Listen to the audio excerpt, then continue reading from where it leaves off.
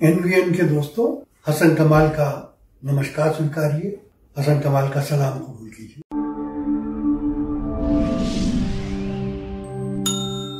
दोस्तों, हमारे देश की एक बड़ी महान हस्ती है, या कम से कम महान हस्ती समझे जाते हैं,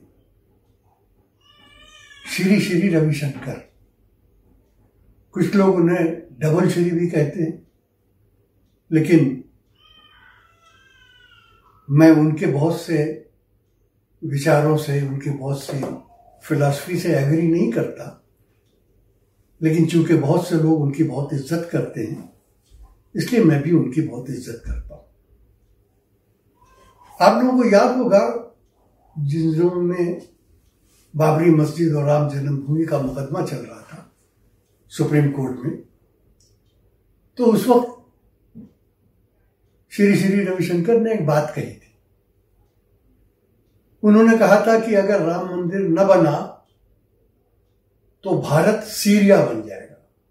सीरिया जैसा कि आप जानते हैं, मिडिल ईस्ट का एक कंट्री है, जहाँ दसियों साल से जंग चल रही उस जंग के नतीजे में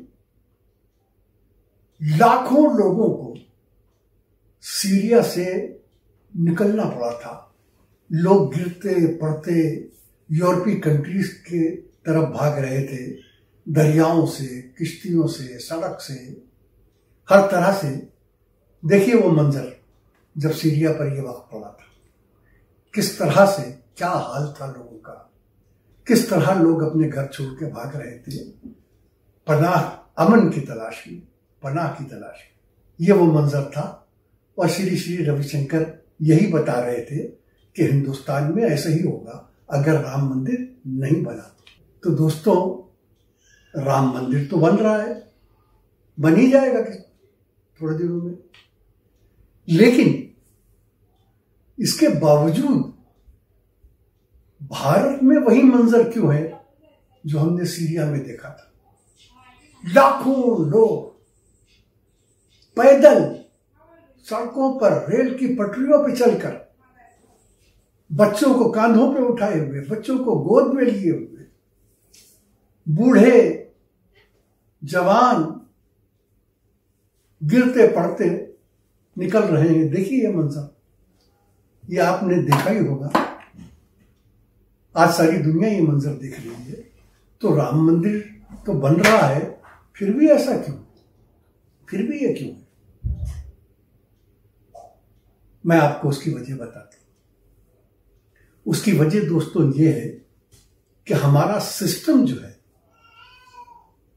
वो गरीब दोस्त नहीं है, वो अमीर दोस्त हमारी सरकारें और खासतौर पर बीजेपी सरकारें गरीबों की दोस्त नहीं है, अमीरों की दोस्त है।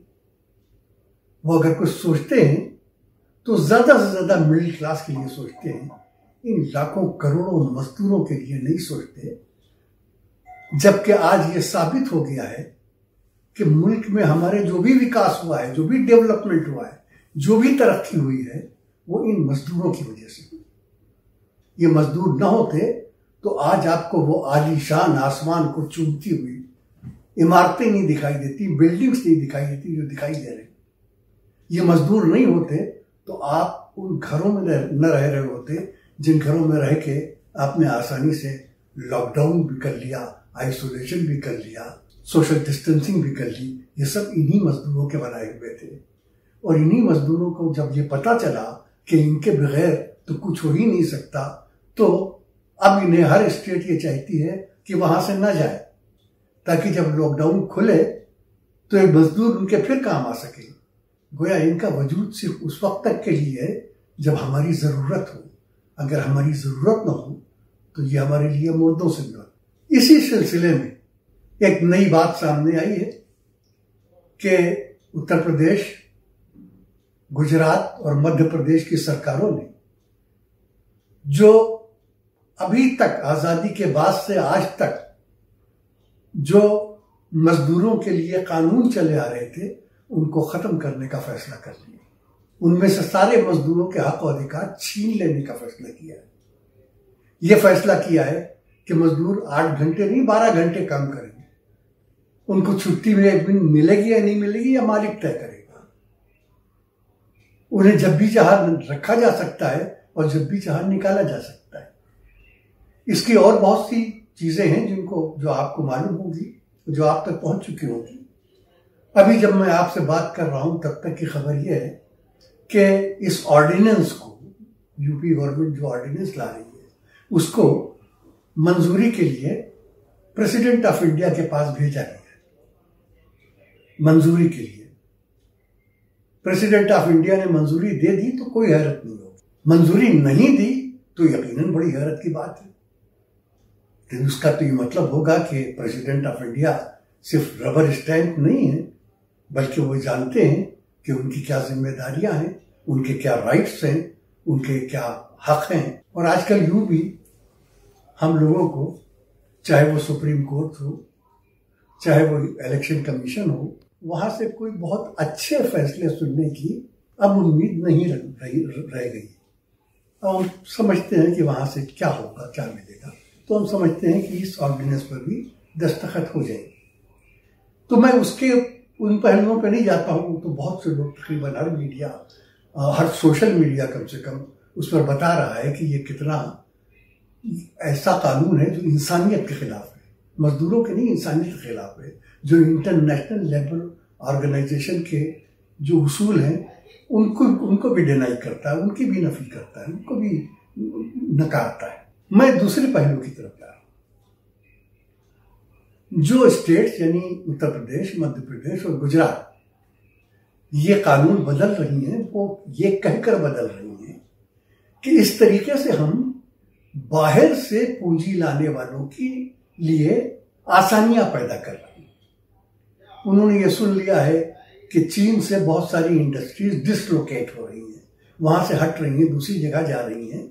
तो उनका ख्याल है कि अगर ये लॉज हमने बदल दिए और हमने ऐसे अट्रैक्टिव कानून बना दिए उनके लिए कि जिनके मजदूर ज़्यादा काम करेंगे और मजदूर ज़्यादा अपने हक नहीं मानेंगे तो ये सब उनको रास आएँगे वो यहाँ आएँगे। मैं इसी पर बात करना चाहता हूँ। मेरे दोस्तों, मैं समझता हूँ कि वो लोग जो ये समझते हैं कि बाहर से पूंजी और फॉरेन इन्वेस्टमेंट उत्तर प्रदेश आएगा या मध्य प्रदेश आएगा या अब गुजरात आएगा, वो मूर्खों के स्वर्ग में रहते अहमकों की जन्नत में रहते हैं फूल्स पैराडाइज में बहुत सख्त बयान है ये, लेकिन मैं वजह बताता हूँ। यूपी ने पिछले पाँच छह वर्षों में, या कम से कम दो तीन वर्षों में तो कितने एक्सपोर्ट मेले लगाए। गुजरात में भी ऐसे बड़े से मेले लगाए। बाहर से इन्वेस्टर्स आए, नुमाइशें लगाई गई, उनको बताया गया, और बड़े बड़े एमओयू साइन हुए। आज तक यूपी में बाहर से एक ढेला नहीं आया। गुजरात में भी नहीं आया। वजह क्या है? वजह यह है कि यूपी हो या मध्य प्रदेश हो, वहाँ वो इंफ्रास्ट्रक्चर ही नहीं है जो बाहर से पूंजी लगाने वालों को पसंद आए या जो उनके काम का हो। उनके पास वो इंफ्रास्ट्रक्चर है ही नहीं। तो दूसरी बात, आमतौर पर बाहर से पूंजी लगाने वाले उन जगहों पर पूंजियाँ लगाते हैं, जो समंदर के किनारे हो, जहाँ बंदरगाहें हो पोर्ट्स हो, ताकि उनको ट्रांसपोर्टेशन में, उनके सामान के ट्रांसपोर्टेशन में उनको सुविधा हो। यूपी में भी नहीं है वो, मध्य प्रदेश में भी नहीं है। तो मेरा ख्याल नहीं है कि एक भी पैसा एक भी देला बाहर से इन्वेस्टमेंट का यूपी और मध्य प्रदेश में आएगा। क्यों आएगा? रहा गुजरात। गुजरात में आया है पहले। लेकिन अभी सिर्फ़ दस दिन पहले अहमदाबाद के म्यूनिसिपल कमिश्नर, जो सुनाया खुद भी अभी कोरोना से अफेक्टेड हैं और आइसोलेशन में हैं, उन्होंने प्रेस कॉन्फ्रेंस की। और प्रेस कॉन्फ्रेंस करके ये बताया कि मई के आखिर तक अहमदाबाद में, गुजरात में नहीं, अहमदाबाद में कोरोना के आठ लाख केसेस हो सकते हैं। सूरत के म्यूनिसिपल कमिश्नर ने भी ऐसे ही प्रेस कॉन्फ्रेंस करके बताया कि सूरत में दो लाख साठ हज़ार कोरोना के केस हो सकते हैं मई के आखिर तक। मेरी दुआ है कि ऐसा ना हो। मेरी दुआ है कि ये झूठ हो। लेकिन गुजरात में जिस तरीके से कोरोना की फिगर्स को दबाया जा रहा है, छुपाया जा रहा है, वो हमसे आपसे शायद छुप जाए, लेकिन जो बाहर से निवेश करने वाले हैं, उनसे नहीं छुपेगा। वो हर बात की छानबीन करके आते हैं। तो ये समझिए कि दो साल तक तो गुजरात में भी कोई बाहर से इन्वेस्टमेंट लेके नहीं आएगा। तो दोस्तों मेरा ख्याल ये है कि अगर ये समझकर बनाया गया है कि इन कानून के बदलने से बाहर से लोग इन्वेस्टमेंट लेके यहाँ आ जाएँगे तो मेरा ख्याल में ये खुली आँखों से ख्वाब देखने वाली बात है। आए तो बहुत अच्छा है, लेकिन मैं जानता हूँ कि ऐसा होने वाला नहीं है। तो मैं ये समझता हूँ कि ये सरकारें अपने आप से झूठ बोल रही हैं। ये अपने आप को बहला रही और अपने आप को बहलाने के साथ ये इमेज ये बना रही हैं और ये साबित कर रही हैं कि इनको गरीबों से कोई दिलचस्पी नहीं है, गरीबों से कोई हमदर्दी नहीं है। इनका सारा की सारी तवज्जो यह है कि जो धनी वर्ग है, जो हमारे यहाँ के अमीर लोग हैं, उनको कोई तकलीफ़ ना हो, बाकी सबकी तकलीफें उनके लिए कोई माने नहीं रखती। आज के इस वीडियो में दोस्तों इतना ही। फिर मिलेंगे किसी और सब्जेक्ट में बात करने के लिए।